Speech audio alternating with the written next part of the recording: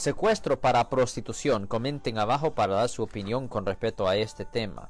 Juan Osorio pregunta, tengo 40 años y conocí a mi novia de 20, perfectamente legal. Un día que fui de vacaciones a mi país, nos casamos y al año y medio de vivir juntos, hizo una denuncia de mantenerla secuestrada y obligándola a prostituirse.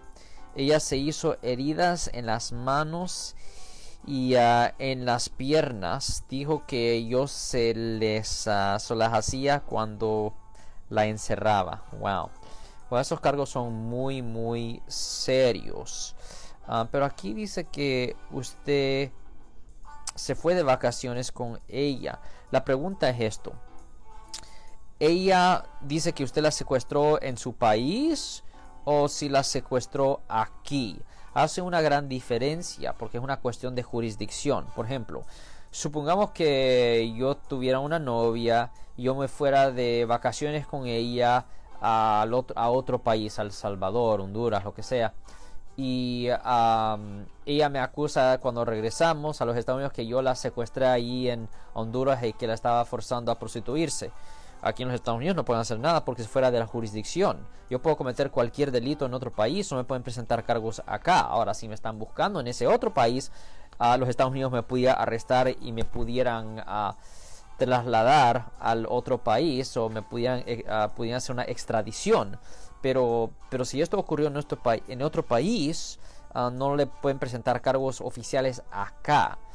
Ahora, Ah, solo para que ustedes sepan, secuestrando a una persona por razones de cometer un acto sexual, ah, eso conlleva una pena potencial de hasta vida en prisión, vida en prisión. Eso es un delito muy serio.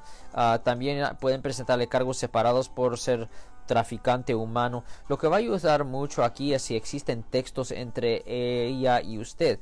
Porque si hay varios textos entre ustedes y si se ve que ella no está secuestrada, ella tiene el derecho de hacer llamadas, puede claramente ah, mandar textos y si no hay nada indicando que ella estaba actuando pues uh, sin su propio sin su propia discreción sin su propio derecho uh, deseos va a ser bien difícil que pudieran convencer a un jurado de que usted es culpable de la ofensa. De cualquier forma, si quisieran aprender más sobre los casos penales aquí en el área de la Bahía Norte, California, cerca de San Francisco, suscríbanse a este canal de YouTube, Abogado Criminalista Área de la Bahía. Recuerden que la suscripción a este canal es gratis y nos pueden hacer preguntas en la sección del comentario del video abajo. Así nosotros podemos responder en el futuro con más videos para ustedes. Pero si alguien en su familia o si usted ha sido arrestado por un delito aquí en el área de la Bahía Norte de California, cerca de San Francisco, y si necesitan representación, llame ahora mismo para hacer una cita gratis al 1-800-530-1800.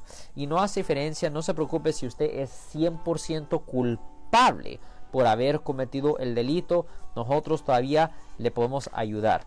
En el próximo video que vamos a hacer, vamos a hablar de un asalto armado en una tienda. Y le vamos a decir hola al señor Alberto Gómez que nos está viendo ahorita por medio de nuestra página de Facebook. Ten buen día, señor. Si les gustó este video, suscríbanse a este canal, aprieten el botón para suscribirse y si quieren notificación de otros videos en el futuro, toquen la campana para obtener notificaciones.